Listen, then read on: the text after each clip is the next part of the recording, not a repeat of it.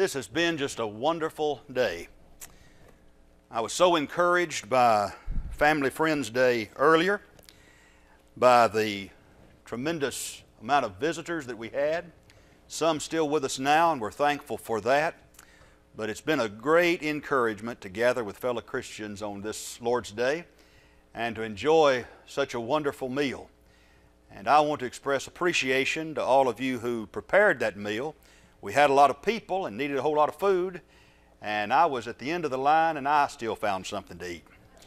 The good thing was this I had to eat baked chicken instead of fried chicken. Now, I prefer the fried chicken, but I don't need it. I need the baked chicken, so it all worked out well. But we appreciate uh, all those who've been working feverishly, tirelessly for this vacation Bible school. And what you see behind me is part of that work, but there are some things that are in the process of getting done for Vacation Bible School behind the scenes. And for all of you involved in that, we're so grateful. Remember that we will have an adult class also this week, so if you're not involved in the teaching of Vacation Bible School, come and join us in the adult Bible class. And we will be meeting in the chapel hall. Brother Mosier will be uh, teaching the class Monday and Wednesday, and I'll have the privilege of teaching the class on Tuesday. Also, uh, uh, I want to express appreciation to those who uh, had a, a display over in the fellowship hall to allow some of our new members, particularly, to see some of the works in which we're involved and some of the activities that are upcoming. It allowed our visitors to see that as well. And not everything we're doing was displayed, but some of those things were. And uh, we want our visitors to come in and see that we are a congregation that not only enjoys good fellowship together, but is actively working and serving in the kingdom of our Lord. During this particular month, and this is the last Sunday of the month, the last day of the month, I have been uh, speaking to you on Sunday afternoons messages from the Psalms. In the four Sundays that I have spoken this month, I have been looking at Psalms that are very special and dear to me. Now, all of them are meaningful to you and me, and particularly these four that I have mentioned, I have personally grown because of my study of them. The first that we studied several weeks ago was Psalm 130, a psalm of prayer. And then Psalm 103, a psalm of praise. And then last Lord's Day, Psalm 23, a psalm of promise and protection. But today could very well mean the most to me Psalm 32, a psalm of pardon. And that's where I want us to spend the next few minutes. Before we dismiss today, studying that beautiful 32nd Psalm, penned by the apostle, uh, or rather the, the king of Israel, David, the beloved David.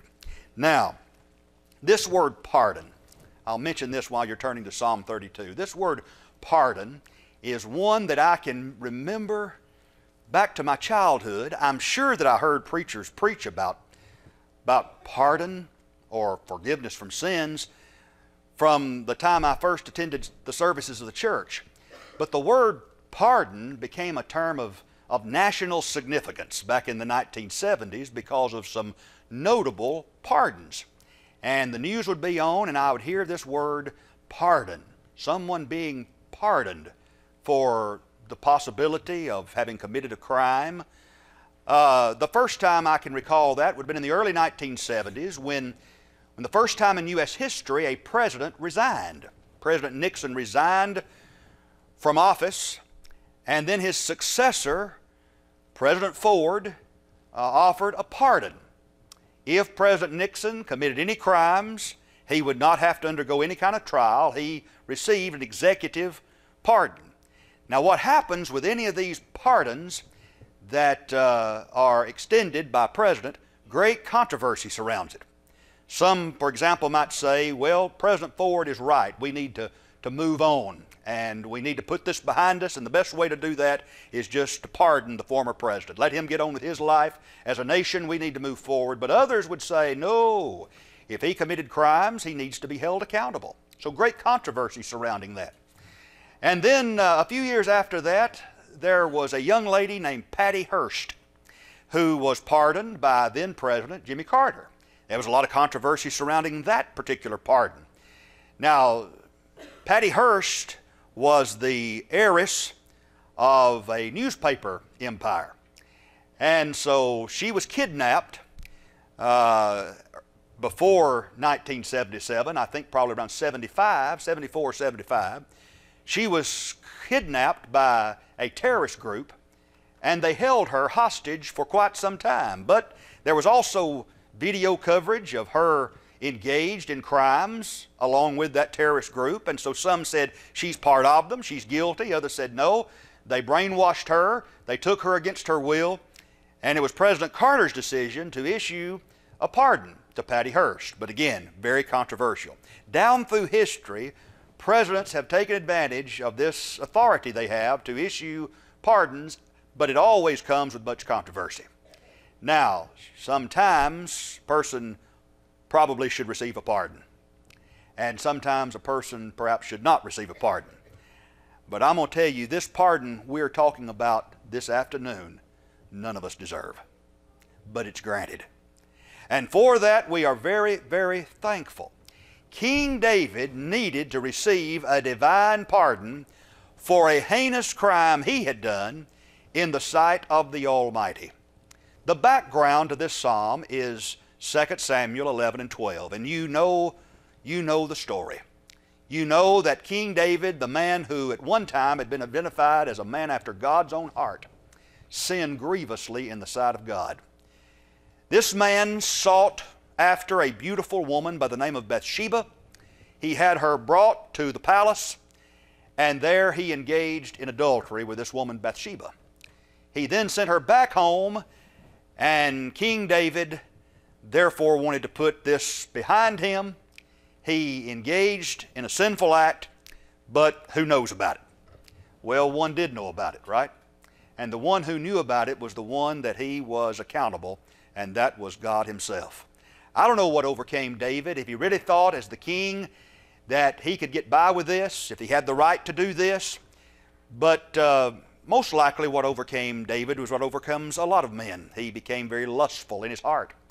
He looked upon this beautiful woman, and instead of leaving the scene and going back to his business or praying diligently that the temptation might, uh, might leave him, he fell headlong in sin. And then tried to do what? Cover it up. And that's where the problem really did begin. When he tried to cover it up. Bathsheba lets him know she's expecting a child. He knows it's his. For her very noble husband, Uriah, had been out on the battlefield fighting the enemy. David, instead of being the leader he should have been, was there relaxing and reclining on the rooftop when he saw Bathsheba.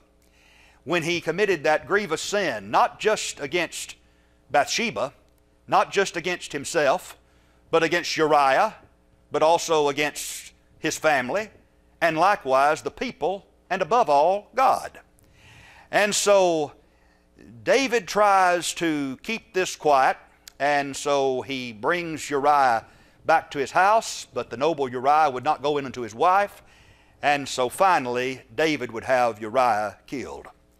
Now, surely then, he has covered his tracks, everything's going to be okay. But in 2 Samuel 11, we read how that the thing that he did greatly displeased the Lord. The Lord still knew about it. And later, God would send his man, Nathan, Nathan the prophet, to King David. King David was in a position of influence and power he was the king of God's people. That could not just be pushed under the rug, so to say. Nathan the prophet was sent to King David. And he told him a story to bring to his conscience, to bring to his memory, to his mind, what had resulted earlier. And so King David understood through the story that was told by Nathan the prophet that he was the one who was guilty. He was really the point of the story. And so King David, fortunately, confessed his sin then. He realized when Nathan looked him in the eye and said, Thou art the man, you're the one this story's about. You took something that did not belong to you. You're the one that I'm talking about. When he did that, he repented. That's all there was left to do. Sometimes we get in a situation where all that we can do is travel that difficult pathway called repentance. But that's the pathway we have to trod if we're going to get right with God. And here is the beautiful confession of King David. As he thinks about his sin and acknowledges it, he recognizes he has received a significant pardon from on high. Blessed is he whose transgression is forgiven, whose sin is covered. Blessed is the man unto whom the Lord imputeth not iniquity, and, whose, and in whose spirit there is no guile. When a man has been pardoned from his sin, there is contentment. That's the first point. There is contentment. Blessed is such a man whose transgression is forgiven and whose sin is covered. Blessed is the man unto whom the Lord imputeth not iniquity, and in whose spirit there is no guile. Blessed, happy is such a one. Jesus speaks in the Sermon on the Mount about certain uh, beatitudes that we are to find in our own lives. Happy or blessed is the man that doeth these things. The things Jesus said we ought to do are rather indifferent to the world. They don't understand it but we understand it. Blessed is the one, for example, who mourns over his sins. Jesus says he'll have mercy, he will be comforted. And so, blessed is this one, happy is the one whose transgression is, is uh, forgiven. Now, these words here that are used are interesting to understand. Transgression, for example, is that which is rebellion against God's rightful authority. The psalmist said, Blessed is the one whose transgression is forgiven. Now keep in mind that the reason that God forgives these transgressions is because God is merciful. There are some things that God would rather do than other things. For example, God would rather forgive sin than to exact judgment. James 2:13. His mercy rejoiceth against judgment. So if you're understanding God and you know something about His character, you'll know that, that it is God's desire to pardon. God desires to forgive if we will put ourselves in a position whereby He can forgive us.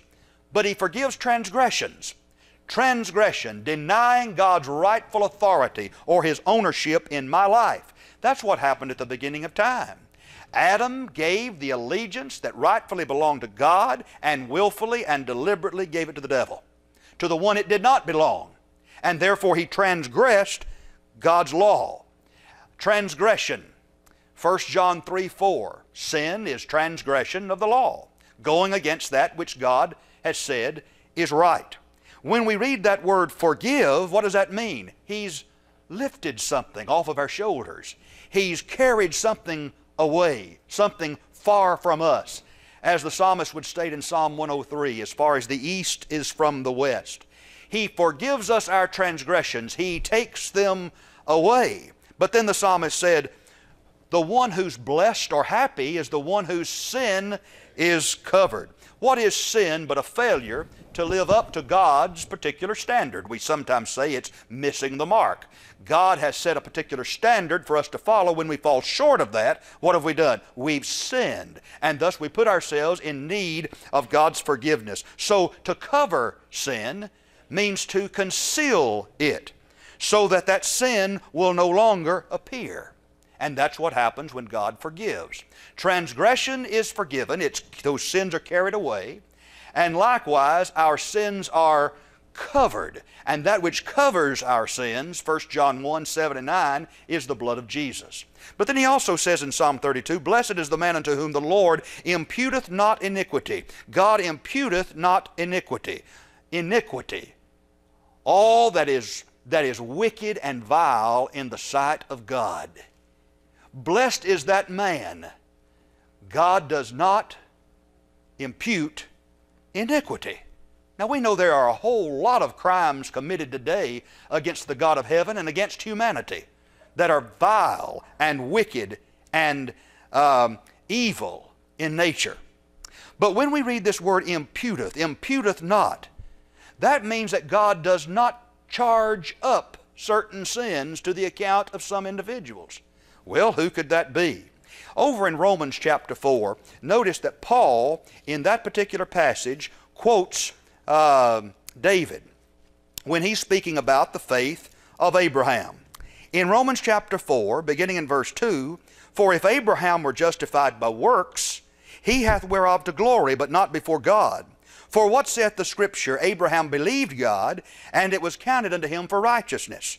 Then look at verse 6. Even as David also describeth the blessedness of the man, unto whom God imputeth righteousness without works, saying, Blessed are they whose iniquities are forgiven, and whose sins are covered. Blessed is the man to whom the Lord will not impute sin. And so someone asked the question, are you saying that there is a man out there who God does, mark, does not mark up sin against? No, I didn't say that. That's what David said. And that's what Paul said. Two men who by experience understood what that meant. Who is the one that God will not impute iniquity? It is the one whose transgression has been forgiven, the one whose sins are covered. They are not held against him anymore. And isn't that the good news of the gospel of Christ? Blessed is such a man that when God looks upon him, he is forgiven, he is cleansed, he is justified in the sight of the Almighty. So we find in the opening verses of Psalm 32 the contentment of a pardoned man. But there's something else we need to notice in the passage, and that is the confession of the pardoned man. Look at verse 3. When I kept silence, my bones waxed old through my roaring all the day long. For day and night thy hand was heavy upon me. My moisture is turned into the drought of summer. I acknowledge my sin unto thee, and mine iniquity have I not hid. I said, I will confess my transgressions unto the Lord, and thou forgivest the iniquity of my sin. Oh, the pitiful poet in this particular passage. He says, I must confess my sins before God. Now, Nathan convinced him that he needed to confess these sins. I am convinced that prior to this, David had had many long nights.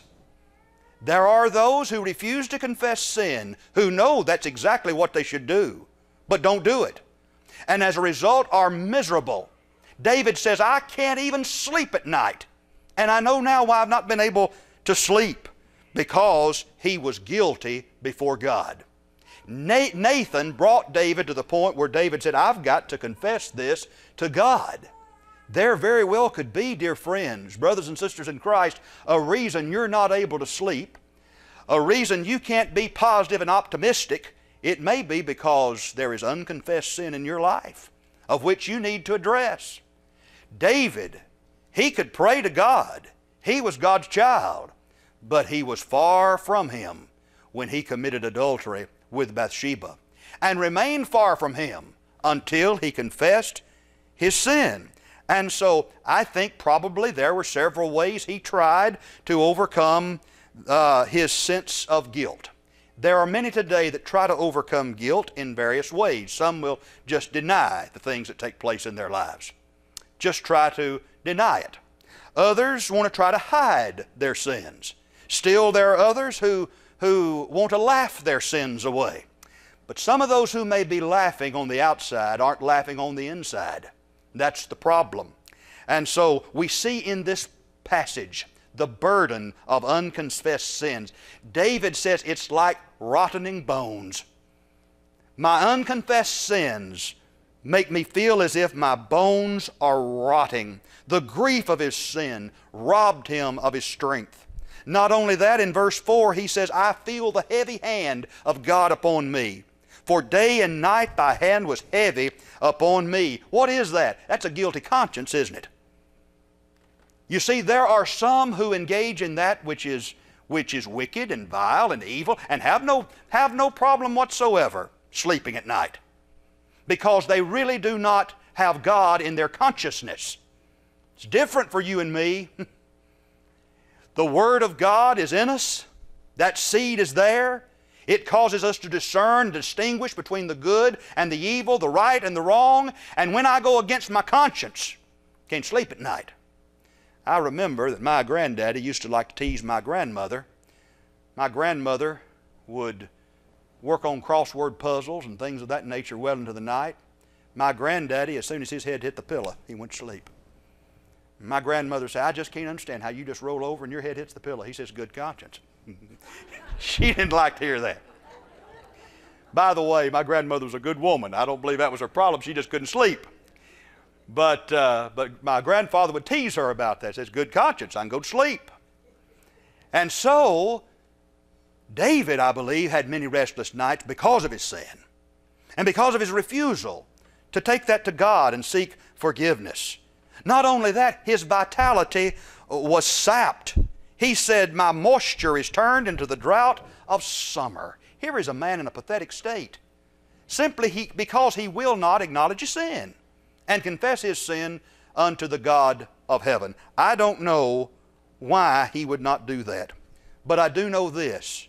When a child of God is burdened with unconfessed sin, he becomes one of the most miserable people on the face of the earth. At this particular time in his life, before he confessed his sin, David was miserable. What did he have to do? Look at verse 5. He said, I acknowledge my sin unto thee. Oh, what a release that is. There is the acknowledgement of sin. David had to confess the fact of his sin. Somebody says, Well, what if there's some sin in my past and I never took it to God and I can't remember what it is? Well, pray that way. Lord, no doubt there are things in my past I can't even remember where I offended you. Forgive me. What if I can remember it? Then name it. David named it. He said, I know exactly what it is that has hindered my relationship with God. I acknowledge my sin before you. If we say we have no sin, John says, we deceive ourselves. The truth is not in us. But if we confess our sins, He's faithful and just to forgive us and to cleanse us of all unrighteousness. 1 John 1 8 and, and 9. Oh, be very careful that you don't become self righteous and be able to point out all the faults of others without seeing your own. I need to remember that message as well. Let's be able to acknowledge our own personal sins, and that's what David did. You see, uh, some sins we commit are in our own minds. I don't have to go confessing those sins to everybody else, but they still need to be confessed to someone. To whom? The one who knows them. The one who knows them. So everybody doesn't know the sin you perhaps have committed, but God does. What David did, he tried to keep hidden from others, and maybe many did not know what he had done, but God did. And therefore he had to acknowledge his sin before God. Not only was there an acknowledgement, there was an uncovering. Look, he said, I will confess my transgressions unto the Lord, and thou forgavest the iniquity of my sin. David chose not to conceal or hide anything from the Lord any longer. Now, what did Adam do when he said he tried to run from God? What did Jonah do when he would not do what God told him to do? Tried to run from God, but it didn't work. And so here is David acknowledging his sin and uncovering them. Here they are, Lord. I lay them out there before the one who knows everything. God says, I already knew, but I was just waiting for you to tell me. I was waiting for you to acknowledge it. Sometimes we as parents are like this. We know the crime committed, but isn't it sweet when a child will come to us without us having to, to urge them to repentance or urge them to confess it? With tears in the eyes and say, Here's what I did. I like to hear a child be truthful. God likes to hear his children be truthful, to be honest. Don't try to hide it. He acknowledged his sin. There was an uncovering of this sin, and confession was made. David says, Nathan is right. I am to blame. Against thee and thee only, David would write, I have sinned against God. All sin ultimately is against God. And therefore he confessed it as so. And he asked God to forgive him. Why didn't he do that in the first place? Why didn't he just do that in the first place? When's the best time to confess a sin? Right after you've committed it. Sure, we understand that if we can avoid sin, that's wonderful, but sometimes we sin. If we say we have no sin, we deceive ourselves. The truth is not in us. Sometimes we do. Here we see the importance of confessing our sins quickly to stay in proper fellowship with God. He might have said, Well, I'm going to let God cool down just a little bit. it doesn't work that way with God. Cool down? I don't know that God has to cool down. His temperament is always the same, but God also remembers. He does not have a, a faulty memory. I can remember when I was a boy hearing my mother in the privacy of our home speak with disgust about a certain lady in town that she said went into another home and disrupted that home and took the husband away from the legitimate wife. And my mother was not saying that the man didn't have a role to play in that, but she had little respect for this woman. This woman and this man would marry and have their own children. And some years later, I remember hearing my mother say, I can't believe this, but this year she's Mother of the Year. And I just picked up on these conversations. What was my mother talking about? Everybody had forgotten, hadn't they? They put that to the past. So she messed up a home. So she took a man away from his, his, his first wife, legitimate wife. That's past. We've forgotten. But I learned even then God hasn't forgotten. And if she's still in that relationship today, it's as fresh on God's mind as it was back then. Still is. David could have thought that. But his sin was on his record. And until he acknowledged his sin, God could not forgive him. Satan's clever, though. Satan can put a guilt trip on people that's different from the guilt trip God puts on people. When God makes us feel guilty, it's to push us toward Him to make things right. Satan says, You see what you've done. Satan doesn't mind saying to any of us, God's holy. oh, you could never please Him. Uh, you better just forget God. Don't think you could ever receive forgiveness from a holy God. But the truth is, we can receive forgiveness. The truth is, God wants us to confess our sin. He perhaps wants us to acknowledge our sin more than we desire to acknowledge it because He knows what He'll do when we confess it. As His children, He'll forgive. He anxiously awaits to forgive. He's the father of Luke, uh, the father of the boy in Luke 15, the prodigal who ran away. Every day, that man had that boy in his prayers. Every day he looked across the horizon to see if this is the day he's coming home. And when he did, he ran to meet him. The only time you see a picture of God running is to meet the prodigal, is to meet his lost son. So quickly, quickly confess your sin when they are committed and seek God's forgiveness because listen to this marvelous statement found in Isaiah chapter 55 verse 7.